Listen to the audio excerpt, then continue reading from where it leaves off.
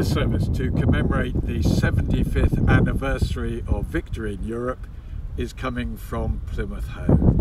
Behind me is the Royal Navy Memorial, which lists the devastating cost of war in the thousands of names recorded from two world wars. Alongside it are the monuments to the Merchant Navy and the RAF and Allied Air Forces one end of the Hoe is a peace garden, and the other is the Royal Citadel, the home to 29 Commando Royal Artillery Regiment, the oldest military base in continual use in the British Army.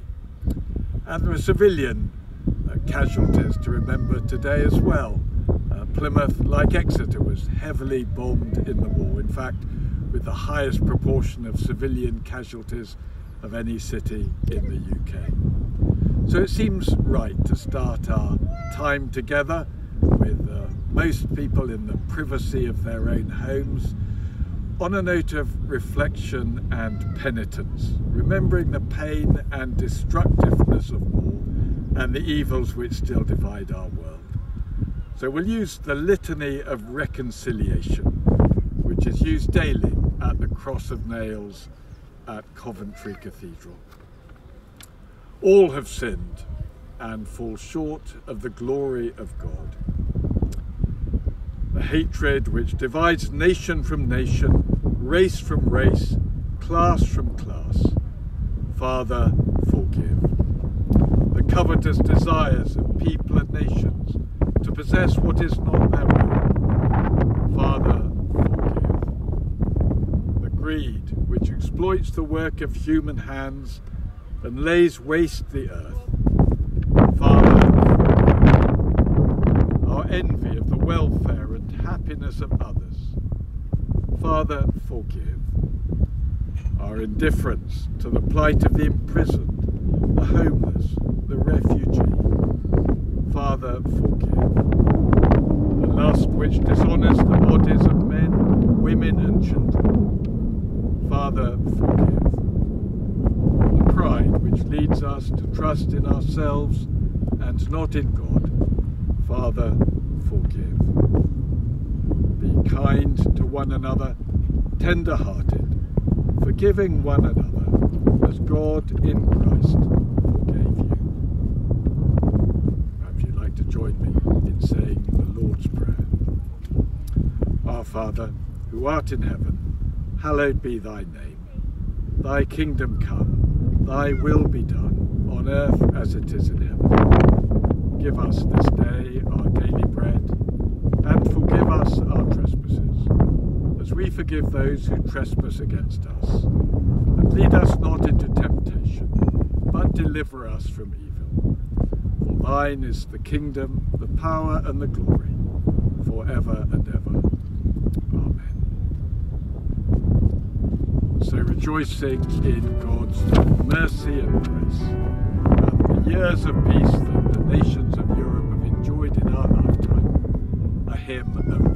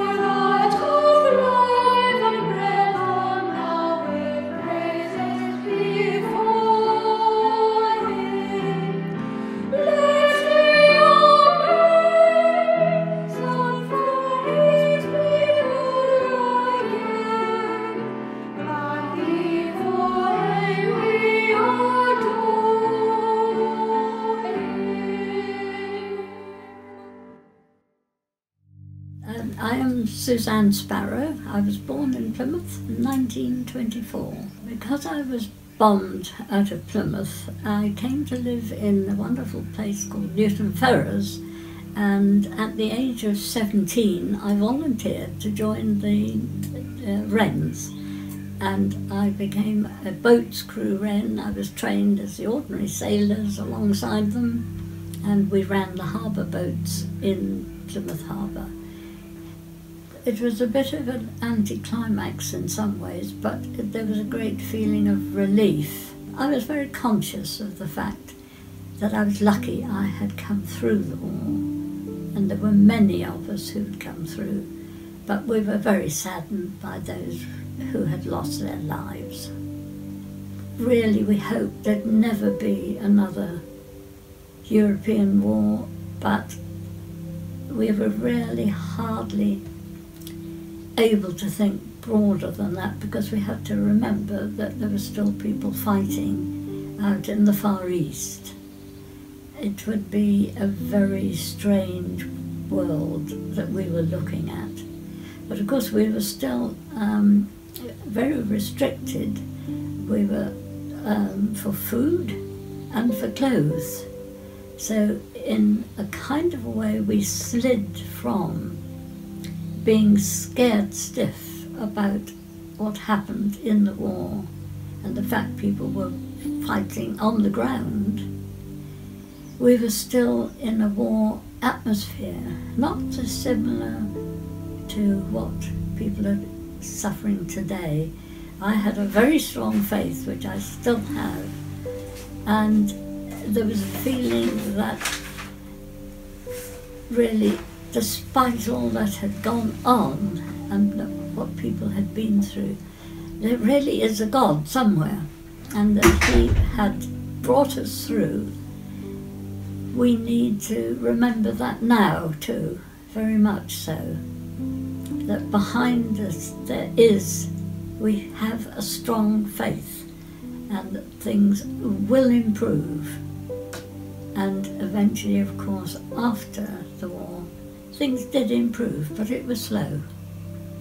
And we have to remember that is what we are facing now, but we will get through, but it will be slow.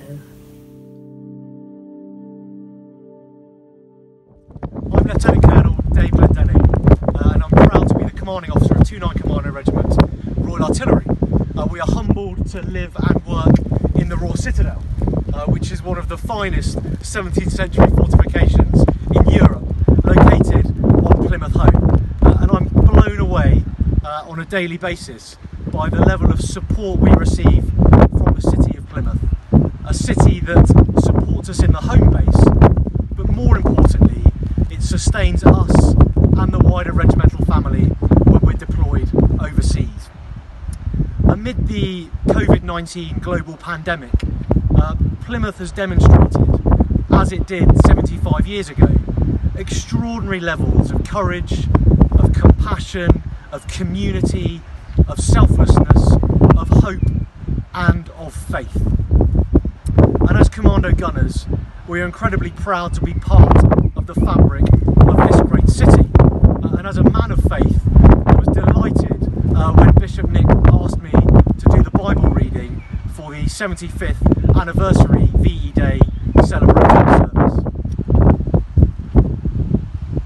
a reading from the book of Romans, chapter 12, verse 14 to 21. Bless those who persecute you. Bless and do not curse them. Rejoice with those who rejoice. Weep with those who weep. Live in harmony with one another. With one another. Do not be haughty, but associate with the lowly. Do not claim to be wiser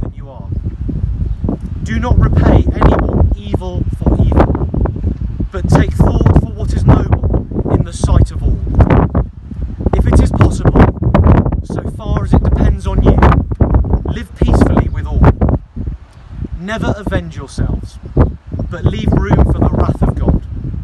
For it is written, Vengeance is mine, and I will repay, says the Lord. If your enemies are hungry, feed them. If they are thirsty, give them something to drink. For by doing this, you will heap burning coals on their heads. Do not be overcome by evil, but overcome evil with good. This is the word of the Lord. Do not be overcome by evil, but overcome evil with good. Today is a day of many different emotions gratitude, sorrow, reflection, hope. 75 years ago, the nation overflowed with joy and relief. But those emotions are tempered by the anxieties now of the circumstances in which we find ourselves in. But the words of our reading urge us not to be overcome by evil, but to overcome evil with good. Part of the problem is that evil is often so much stronger, more blatant, apparently, uh, than goodness. We saw it in the Nazi atrocities of the last war, the warped ideology that led to Auschwitz and Belsen. We see it still in the terrorist prepared to maim and to kill for the publicity and fear it brings, in the thug hurling racist abuse, uh, the corrupt dictator cynically exploiting his impoverished nation. And if evil is strident, good is so often self-effacing. It's quiet and unobtrusive is there in the quiet acts of generosity, of kindness, of forgiveness, of friend and stranger. In those who in the present crisis risk their lives to care for the sick or to keep normal life going for the rest of us. Just as we saw it in the courage and sacrifice of our grandparents' generation. Into our complex world, the Apostle Paul writes, do not be overcome by evil, but overcome evil with good. And he's able to write that because he has seen what God has done in Jesus Christ. That when evil had done its worst, taken the most wise and caring person the world has ever known and nailed him to a cross, God had turned tragedy to triumph, despair to hope, death to life.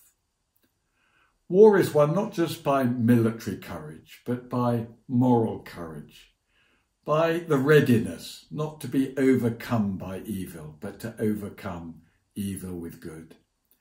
And the same determination shapes our peace as well.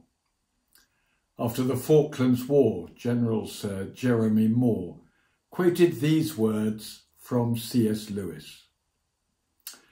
The sun looks down on nothing half so good as a household laughing together over a meal, or two friends talking over a pint of beer, or a man alone reading a book that interests him. All economics, politics, laws, armies and institutions, save in so far as they prolong and multiply such scenes, are a mere ploughing the sand and sowing the ocean.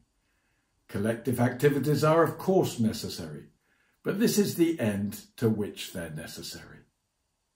We give thanks today for the victory won 75 years ago by our armed forces that has made such freedoms possible for us to enjoy.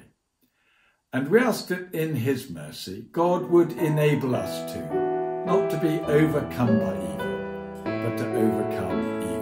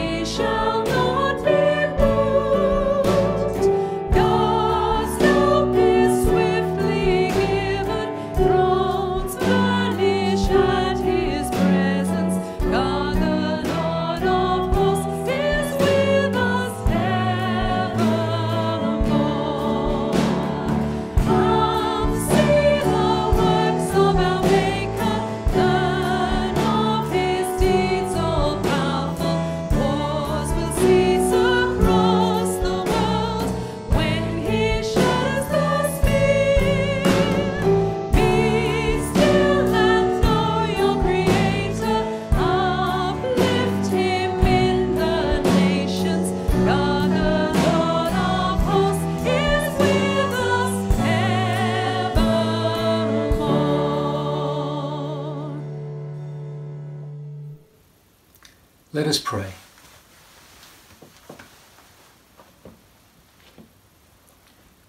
As we come together with thankfulness, we pray for nations still devastated by war, for their people and their leaders, and for those who suffer the effects or memories of past wars, for veterans, for those who mourn, and for all innocent victims whose lives have been shattered by the cruelty of others. Amen. O Lord our God, as we remember, teach us the ways of peace. As we treasure memories, teach us hope. And as we give thanks for the sacrifices of the past, help us to make your future in this world until your kingdom come. Amen. O God of truth and justice, we hold before you those men and women who have died in active service, particularly in the Second World War. Those whose sacrifice brought us victory in Europe. And as we honour their courage and treasure their memory, may we put our faith in your future, for you are the source of life and hope, now and forever. Amen. When I was a vicar in Plymouth, I took a number of funerals of young men who were killed in Afghanistan. As you can imagine, these were deeply sad and poignant occasions. But they also had a note of pride as we gave thanks for the courage and sacrifice that these young men had shown. At each of the services, I'd say a few words, and the commanding officer would also come and read or say something. And at one of the services, the commanding officer of the regiment read these words, originally from President Roosevelt. They've become quite well known since. And they're all about being involved in life and not just sitting on the sidelines. I'll read them. It's not the critic who counts, not the man who points out how the strong man stumbles or where the doer of deeds could have done better. The credit belongs to the man who is actually in the arena, whose face is marred by dust and sweat and blood, who strives valiantly, who errs and comes up short again and again because there's no effort without error and shortcoming, who at their best knows in the end the triumph of high achievement, and who at the worst, if he fails, at least fails while daring greatly, so that his place shall never be with those cold and timid souls who knew neither victory nor defeat. That's true for those who fought for our freedom 75 years ago, just as it's true for those who've got involved and look after us in our present crisis.